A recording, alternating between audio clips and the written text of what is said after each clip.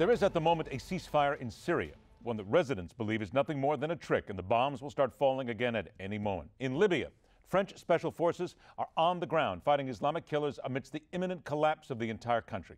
There is a thinking that we, the United States, can still fix Libya. And at least one presidential candidate stands that it's not our problem. Others still need to step up. Reality is always the toughest part of such issues, so let us get to it. Our guest is former chairman of the House Intelligence Committee, Shillman Senior Fellow at the Investigative Project on Terrorism, author of Architects of Disaster. Welcome, Pete Hoekstra, back to the Hardline. Pete, good to see you again. Let's get right to this because I got to tell you, when I saw this headline, and this is in Politico, from Ben Fishman, who is one of President Obama's former Libya advisors, he says, contrary to what people think, we were neither naive nor ill prepared when we intervened and he talks about how we can still fix Libya. You agree with all that? We fixed Libya, Ed. We fixed Libya in 2004.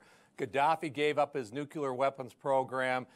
He paid reparations to the victims of his terrorist activities in the past, and he allied himself with us to kill radical jihadists in 2011, when this administration overthrew Gaddafi, they snatched defeat out of the jaws of victory. I don't know if they were naive or not, but they sure were stupid. Then how do we look at something like this? And here's somebody who apparently was on in the inside who says, wait a minute, we can still fix it. And I hear people like Bernie Sanders, as a matter of fact, and I wanted to check this. He says basically, when it comes to a lot of this discussion here, it's judgment, not experience, that we need when it comes to dealing with places like Syria and Libya. All right, Pete, let, us put this all together then. Was our judgment bad? Was our experience bad? I mean, who's, who's stupid here? Well, I mean, the uh, number one, we had the experience. We overthrew a bad guy in Iraq with disastrous results. Uh, we should have known that, and then we threw overthrew an ally in Egypt, and we had bad results. And then we still decided to overthrow another ally in Libya. And somewhere along the line, through experience, someone expected that we would have a different outcome, and we didn't. We have another disaster. Uh, so it's, uh, you know, in this case, experience clearly did not inform the future. Uh, and so it's, you know, it's poor judgment. Then, okay, I'm, I'm going to throw a radical idea up here for just a moment. Disaster, disaster, disaster. You and I have spoken many times about it. And every time we do, there comes that thinking process that we just weren't smart enough to avoid disasters. What about those like Sanders, like others who say, all right, wash your hands, walk away? It's all yours, guys. You take care of it because we can't be sitting here fixing this thing every four or five years. Well, remember, we, like I said, we did fix Libya at one time. We did fix Egypt at one time. Uh, Syria wasn't an issue until we intervened. Iraq wasn't a problem until we intervened.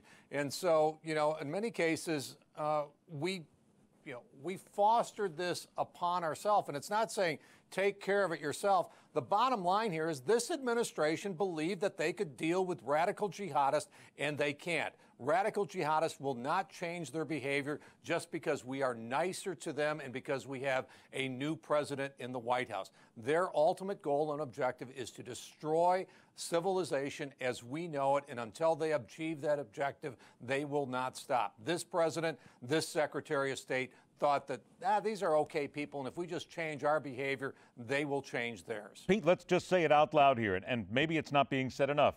The President of the United States, the Secretary of State, and so many other people in this administration, incredible hubris, incredible ego. If you want to talk about rebuilding something, start with the fact by saying that the people who are in charge really just had the ego to say they could puff out our chest and get it done in a second's notice just like that. That you want to talk about stupidity, that's the stupidity right there, yes? Uh, it really is. It, it is hubris. Uh, this president said before he got elected that the world will see America differently, especially the Muslim world, uh, because you know I lived in a Muslim country. That says everybody who came before him, everybody in government, everybody in the State Department, in Congress, you guys are all naive. America's going to, the world's going to look at America differently because guess what? I'm president and you're not anymore. And it, uh, it was hubris. People and organizations and countries, they operate in their national self interest. They're not going to change just because the opposition has a new leader. Pete, about 30 seconds left. Delta Force is now moving in. Apparently, they're ready to target, capture, or kill top ISIS operatives. They've been getting ready for several weeks of covert preparation. Do you have confidence that they will be able to get something done? Oh, they'll be able to get something done. They'll be able to go out and, you know, kill some folks. They won't capture anybody because we can't interrogate them. And if we capture them, we'd have to give them over to the Libyans or over to somebody else. Uh, you know, no, we won't capture them. But yeah, we'll be able to kill some folks. But will we able to change the dynamics in Libya and in northern Africa, not in the short term. Every time I see things like last several weeks preparing, I think that should say last several years preparing properly, and we might be able to get something done. Pete Hoekstra, always a pleasure, my friend. Thanks so much for joining us. We'll talk Great, again soon. Now, what is it Warren Buffett knows about the American economy that no one else knows? Because Warren Buffett has made a statement that has some people talking this weekend about where we are heading economically. Stay with us. The fastest 60 minutes of news, The Hard Line, continues.